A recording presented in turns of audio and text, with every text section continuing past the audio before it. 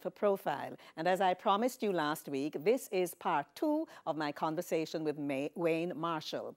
Well, let me tell you what's going to happen here. He spoke about the theory, getting into the theory of music, uh, in addition to all that he had done before. I want to hear about that. But let me just refresh you as we go, go along. Glory to God, that song, oh my goodness. It is really a prayer, and it's influencing so many people older people, people who are not so old, children, people who are in school. And I want you to really sit back and listen, not just only to the words, but for me, the orchestration. And uh, remember that Natural High is a group that helped Wayne to make that the product that it really is, and the other uh, uh musicians who worked on that, and his dear friend, Minister. We're going to come back. I said, DJ, that's dating me. This is Profile. We continue our conversation.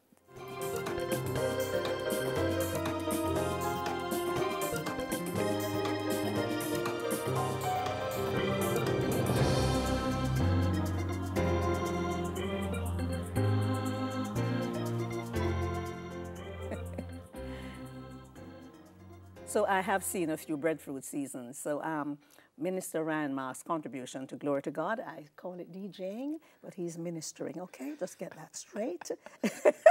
when but, has it ever been referred to as DJ? Um, in the 70s, would have uh, your DJ as tune. Oh, no, well, I just thought it was so obvious that he was preaching.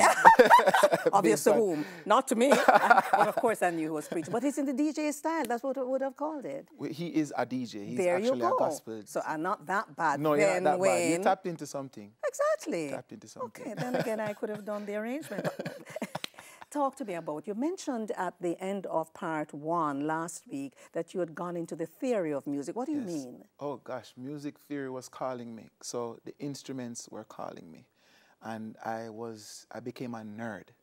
I just dedicated all my time, all my, it's almost like I had to do it or else I couldn't sleep. Sometimes I'd be up at 3.30 in the morning reading my phone, just trying to get that final bit of, of music theory, you know, and then what ended up happening is that I found God in the music.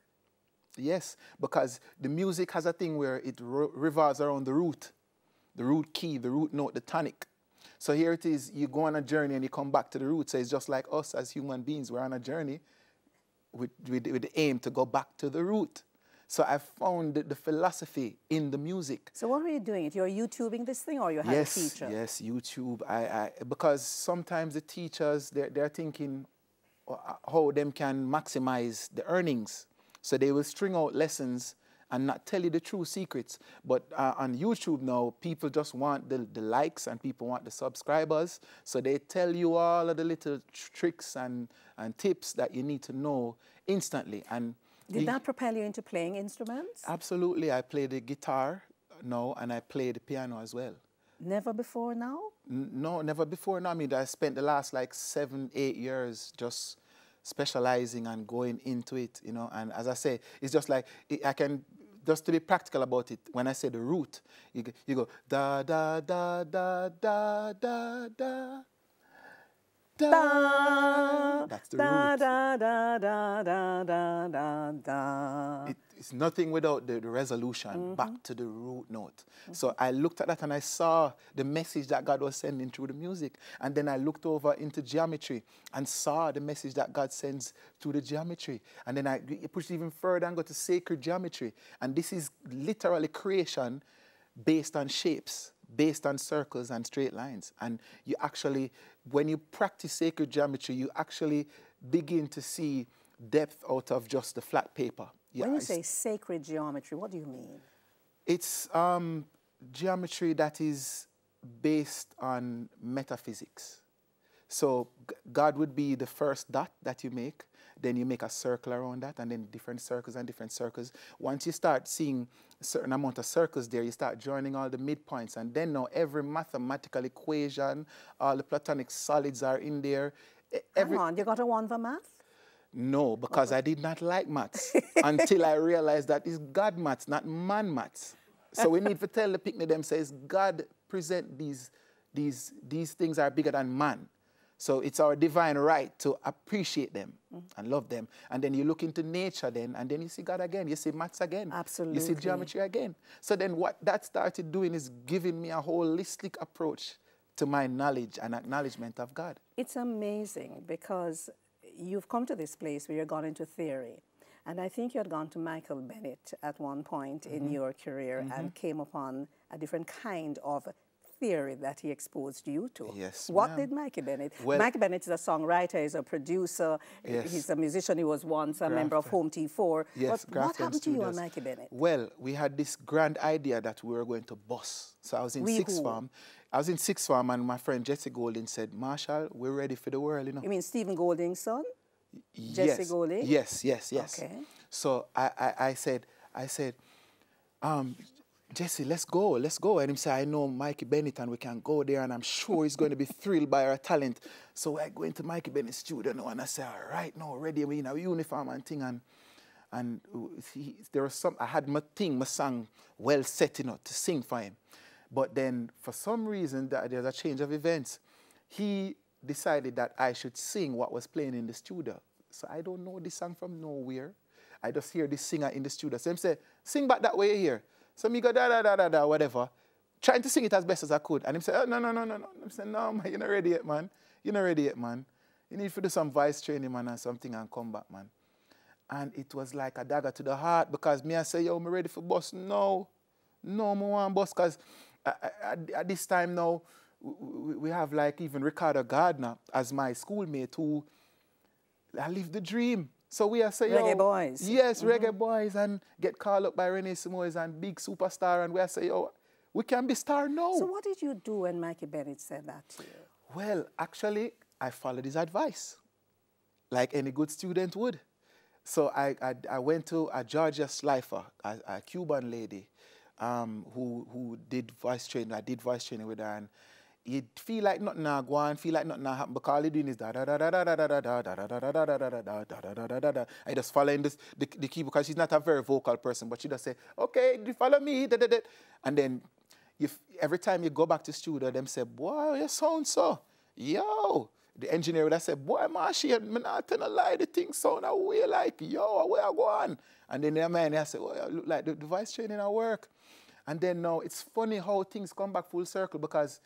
me and Mikey Bennett are like brethren now.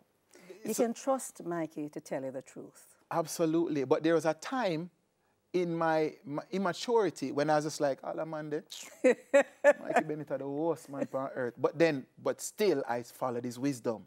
I did follow his wisdom. And me and that man become brethren now. Like, I call him, he's one of my mentors, he's one of my you guides. You bounce things off Mikey, you would have to, because he's just, and he's so giving he's so giving and, and he, he always has time for, for the younger ones, mm -hmm. always. And as a matter of fact, Mikey was, uh, was also one who has been a part of my spiritual journey. There was a time when we had this prayer, Bible study type of thing at Temple of Light where I would where I'd go. He invited me there and I went there and I was just like, oh, this is right up my alley.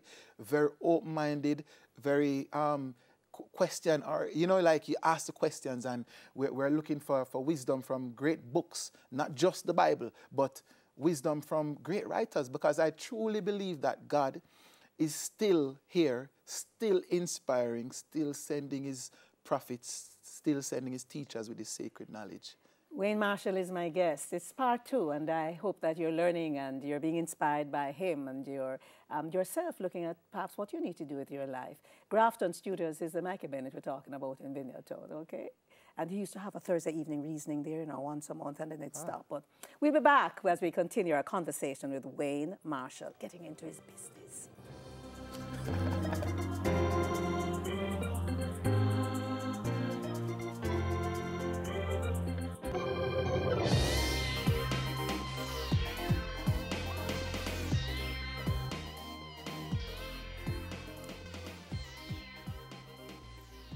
Wayne Marshall is my guest, and we're continuing our conversation. You know, uh, last week I spoke about you going to the vice principal after you were two weeks in fifth form and said, put me back to fourth form. What was that all about?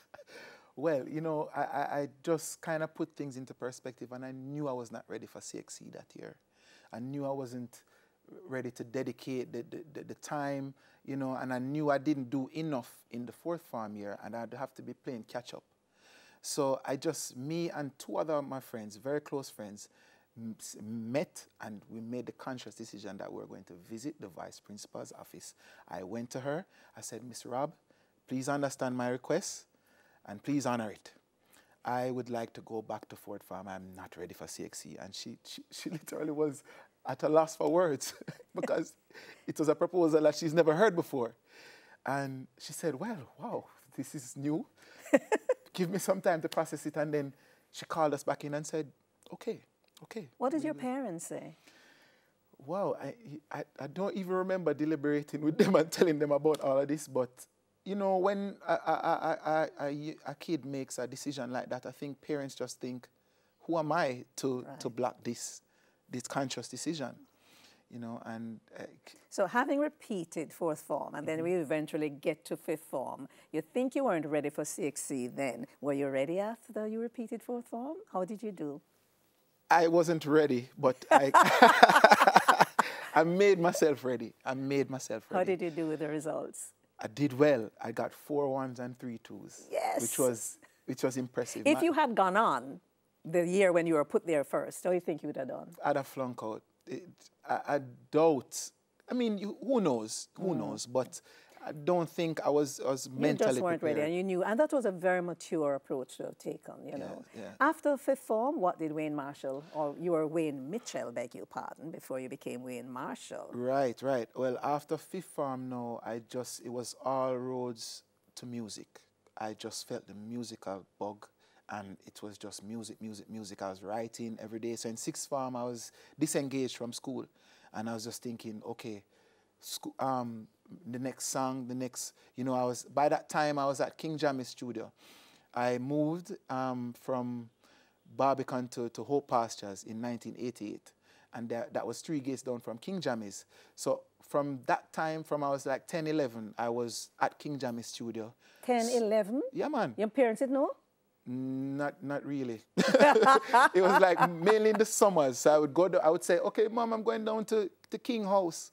which was three uh, on, on avenue, number three. So I just go down there and tell her that I was there. But yeah. then I'll jump into King Jammy's car and we'd all go down to, to, to Waterhouse, down to the studio. Ah. And then I was just like a fly on the wall, observing and just basking in the process of music. And it was like the dancehall hub, it was the academy of reggae music, basically, you know, hardcore music. So I was there, I used to see the great Sanchez, Bushman, Capleton, you name it they were all there, they passed and I was able to see the, the little details and the process that they would put into making the music. And I would hear them do big songs there and then hear them on the road, on the radio. And then I was like, oh, I was there. I was there when that song was made. And that, that, to me was just everything. And I just thought, I want to be a part of this process. I want to be this. What was your first recording? My first recording was, was a, a song named Story Don't Tell and the Bada Bada rhythm. That was War 21, some young selectors on King Jamison who then went on to be producers, starting to make rhythms. So we're all the same age and we're all feeding off of each other. They were breaking out into music at the same time as me, basically. Yeah, man, it was exciting times, those. You did a number of collaborations in your um, career as a recording artist. Yeah. Who are some of them you worked with? Oh gosh, I've worked with. You worked with Sean Paul? Yes, I've worked with Sean Paul. I, I, I actually got have a um, platinum selling plaque at home. Um, I did, did a feature on his Trinity album. That was big time for me. That was, you know, when you do something like that as a young artist, you think, wow, I want one of these for myself. You know, or the dream is actually real. Like I'm a successful artist. Like yeah. look at this, look at my wall. You know. Yeah. So it served as great inspiration. Of course, Bounty Killer, I can't speak of my musical career without a bounty killer because he was the King Jammy's main artist while I was a kid. So he, we used to idolize him and look up to him. And, you know, I remember Trev, which is King Jammy's son, coming home and saying, yo, my father find the baddest artist named Bounty Killer. And I said, what? Um, yo, T42 cassette and make we hear them no man. So bring on the cassette and, and, then from that I was just like, wow, this artist is going to change the game. He might go boss. The world are gonna know him. And it was like a prophecy mm. that, that as little kids we see it happen, we see it manifest. And then eventually, know, Bounty would know us just by virtue of being around, around them, you know. Yeah, yeah. And then we got old enough now where we could write songs. And then I wrote this song and I said, Trev, you know, so forgot to Bounty with this. Bounty would I do that tune in a collaboration? And There was a song named When the Smoke Clears. And that was the first collaboration that me and Bounty did. And after that, it was just the beginning of a lifelong mentorship you know, You're friendship. still in touch with Bounty Killer? Yes, man. Yes, man. You also had collaborations with the Marleys, some of the Marleys. Yes, of course. Um, Damian Marley played plays play is playing plays a big role in my career. He produces for me. Um, my last album, True Colors, was produced by Damian Marley. Um, the first album was Martial Law. Martial Law, that's VP Mm-hmm, Records. That was from J- King Jammy's days, and then True now- Colors is the one True that um, Damian is involved produced, yeah. Yes, and Damian is just, uh, uh, uh, what can I say? He's a workaholic. He's a perfectionist. He's gifted and he's he's um, inherited so much, but still works for his own. Which is it's good. almost like him nana, but no nana straight. He does. He works so hard, and um, I remember Damian gave me a book. It was a Quincy Jones biography, and basically he gave me and said, if you know a good fear, you read this and give me back my book. and within two days, I read it and it just changed my life. And that was kind of one of the catalysts for me yearning for more in music because I realized I was nowhere. I was a novice. But then I thought, hmm, I'm a novice, but I built a career. And part of that was a Grammy that um, there was some association with Damian Marley on. Well, yes, I, I, I we, we, he's gotten the Grammy Award Yes. now for, for his latest album, Stony Hill, which I'm a part of. I'm a writer on there, so in, inadvertently, I, I have a Grammy. you know, Yay, so- congratulations. Another thing that says, okay, one more step to you winning one for yourself. I love that. Yeah, yeah. Wayne Marshall is my guest. When we come back, we will continue this conversation. Thank you for joining and listening and enjoying and being inspired.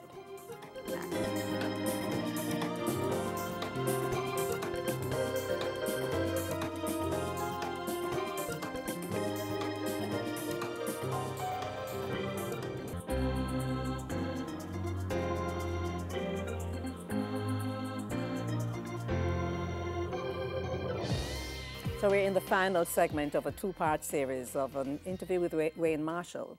I'm just going to come straight. Glacier Robinson. A number of dramatic things happened in your life, Yes. and that was one of them. Talk to me. Glacier, I remember Assassin Sasco said to me, I'm doing a song with Glacier Robinson tomorrow. I want you to be there. So I said, Glacier Robinson, hmm, who is that? But then Eh, eh, when I reached to the studio, she, she had already left like about five minutes before.